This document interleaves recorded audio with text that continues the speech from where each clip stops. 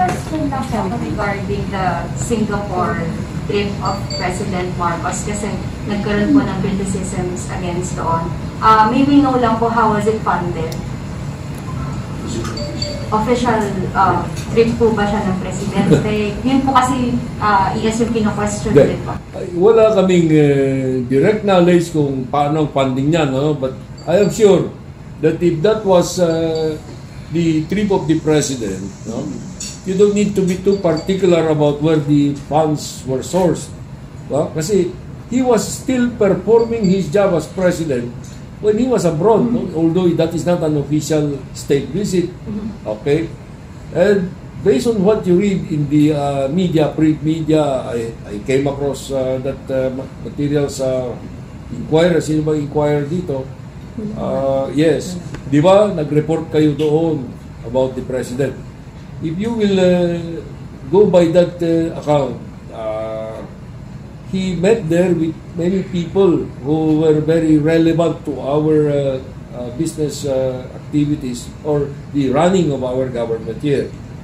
Now, whether uh, it was uh, a, a fully paid trip or not is irrelevant. Now, let me give you this idea about how the president and the first family are regarded by the law. No?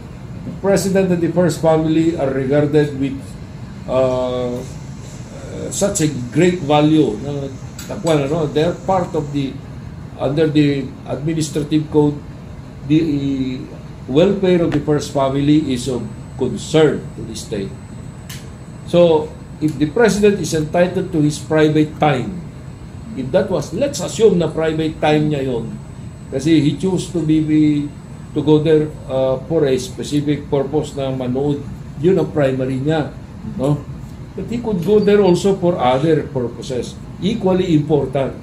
Oh, you may not call that a state visit, but nonetheless, it is not any less uh, covered by that law, which uh, accords uh, great importance and value to the welfare of the first family. No? So it's beyond issue. Uh, it's not relevant at all to question, well, to ask kung sino ang gumastos. Uh, Ako, pwede akong gumastos para sa kanya kung kaya ko lang eh. Hmm? Basta he is doing something for us. Pero sir, what do you say to people saying that very insensitive yung trip? Because Ano, very? very Insensitive. insensitive yung trip. yung Bakit niya. is insensitive about it? Formula 1?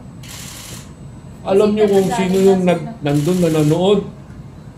Mga ministers din na katulad niya, higher. He was even higher than all of them. And there were even, uh, I think, uh, kings yata ang sinabi na kakanya doon sa... advisor nung Ha? Advisor nung Royal Crown. Hindi lang, hindi lang. Kasi, Ano? you know, the the attraction of that F1 uh, uh, Formula race sa Singapore, iba. It was held at night. It is not uh, the same in other uh, venues. Tapos, it was a very fast uh, route, eh, five, more than 5 kilometers per lap. Eh, that's how how our uh, how how those who went with the president described it. Uh, it is something that is uh, going to attract many other uh, big big people from other countries uh, in Asia. Eh, the president was not the only dignitary there. Hmm? Napakagaling yung bisita niya yan. He could not announce it beforehand kasi baka mamaya eh, knowing that that is a public, uh, well, baka mamaya may magplano. Hindi maganda.